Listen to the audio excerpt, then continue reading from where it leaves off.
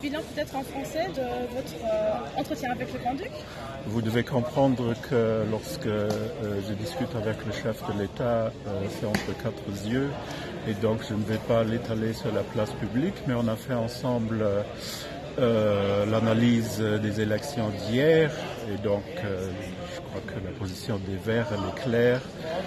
en tant que grand gagnant, nous aspirons à faire part d'un prochain gouvernement. Très bien, merci.